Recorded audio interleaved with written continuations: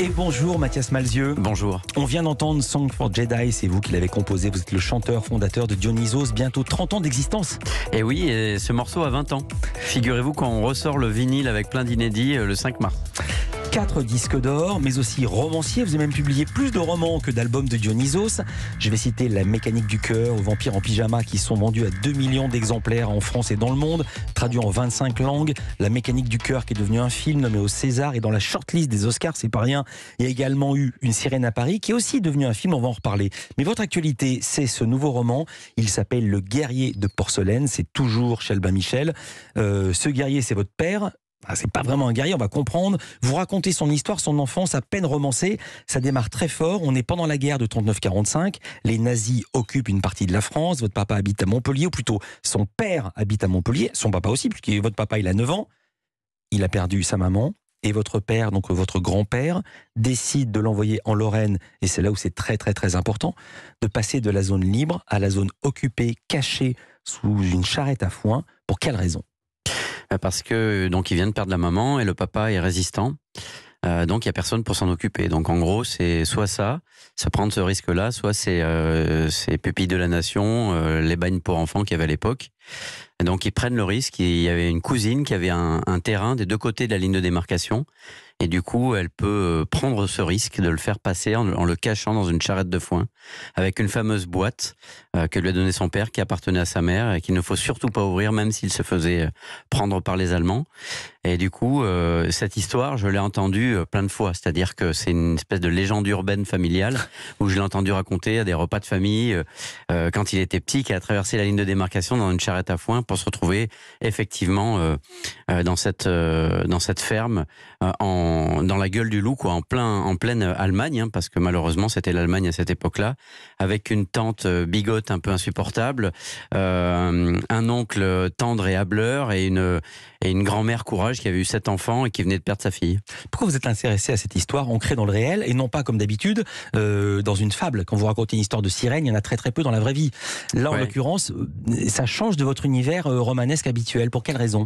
C'est vrai. Euh, bah, déjà parce que j'avais envie de rendre hommage à mon papa. Euh, alors pas juste comme ça, euh, parce que euh, il a été ce guerrier de porcelaine justement. Ça a toujours été quelqu'un au long de sa vie qui a été très courageux, et qui nous a donné des, valeurs universalistes très belles. Euh, et j'avais envie euh, finalement de euh, de faire de quelque chose de, de, de, ce matériau littéraire incroyable parce que quand il me raconte ce que vous avez mis en place là, en fait tout ça est vrai. Mmh. Et alors bien sûr qu'il y avait seulement ces souvenirs, donc j'avais à construire un roman, à faire une petite cuisine avec tout ça, mais je me suis dit il y a une histoire à raconter avec ça. J'avais à la fois envie de lui rendre hommage et à la fois de voilà de fabriquer quelque chose à partir de cette euh, cette matière. Juste un mot, vous parliez à l'instant de votre papa au passé, il est toujours de ce monde. Il est, ouais, il est là, il écoute. Il, il écoute. On le salue. Il avait noté, il avait ouais. noté à 10 h Europe 1. Euh, c'est une histoire vraie en même temps, c'est un conte poétique. Je dirais que c'est quelque part entre Boris Vian et le journal d'Anne Frank. Je veux pas en dire ouais. plus, je veux pas spoiler. Euh, et ce roman télescope votre histoire personnelle parce que vous avez vécu une histoire terrible, vous l'avez racontée, vous avez frôlé la mort de près, vous avez subi ou bénéficié d'une greffe de moelle osseuse, c'est selon qui vous a valu 11 semaines de chambre stérile et votre papa venait vous voir à l'hôpital. Exactement, et c'est là effectivement que j'ai eu l'idée de, faire ce livre parce que comme je vous le disais juste avant, effectivement, il m'avait déjà raconté un peu cette histoire, mais là c'était trop compliqué pour lui et pour moi d'ailleurs. Euh, il a perdu sa mère très jeune, euh, j'ai perdu ma mère assez jeune et lui sa femme beaucoup trop jeune aussi. Et euh, il y avait, il y avait donc ce moment où, euh, où je redevenais quelque part son fils quand il me racontait son histoire de, de lui petit. Euh, donc on avait ça et on avait la Coupe du Monde 2014.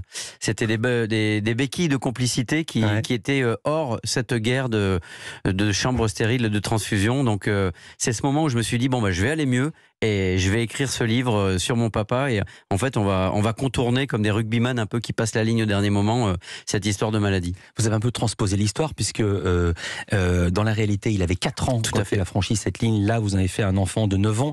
Il y a très jolie tournure poétique mon cœur est en train de foutre le feu à mon cerveau où j'ai la gorge nouée par une angine de questions. Euh, l'angine de questions ça vous est venu comment?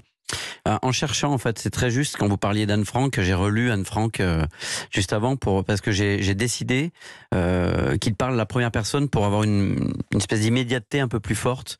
Euh, J'avais essayé à la troisième personne. Mmh. je trouvais ça trop mou. Puis après, je l'ai mis à la première personne pour me rapprocher de lui. Mais façon, je me souviens à la Pérec et ça ne marchait pas non plus. Enfin, en tout cas, ça me satisfaisait pas. Et à partir du moment où je me suis glissé dans ses pas, alors là, il s'est passé quelque chose. Mais du coup, je l'ai fait avoir 10 ans euh, pour euh, bah, parce que 4 ans, c'était un petit peu trop petit. Alors entre le vrai et le vraisemblable, vous naviguez souvent et la poésie, et il y a une mise en abîme de ce questionnement. Euh, vous parlez, enfin, le Ménou parle avec son oncle Émile. L'oncle lui dit il faut que tu trouves le bon dosage d'imagination, dit l'Émile, qui me traite de Jeanne d'Arc du grenier. Si tu inventes trop, tu risques de perdre le contact avec la réalité. Vu la gueule de la réalité, répond le petit, c'est pas forcément un problème. Eh bien, si justement, ton imagination doit servir à la transformer, à la rendre meilleure, pas à la quitter, c'est comme le dosage d'une grenadine, tu vois. Ça, c'est du Mathias Malzieux. Alors, vous avez raconté votre papa avant, mais vous, comment étiez-vous avant? C'est le portrait pré-fame. Lisa Marie Marquez arrive, entre en piste. Culture Média continue.